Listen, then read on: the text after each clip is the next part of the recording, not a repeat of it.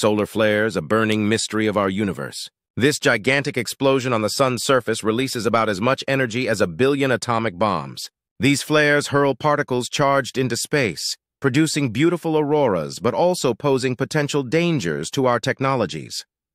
What triggers these solar flares? Magnetic fields. The sun's surface bubbles with magnetic activity.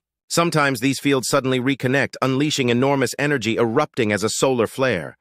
Did you know that solar flares impact us here on Earth?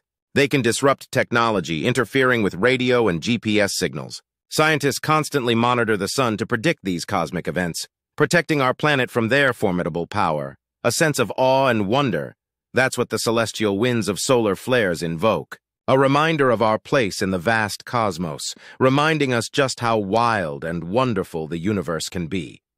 Explore more about space and solar flares in our linked video.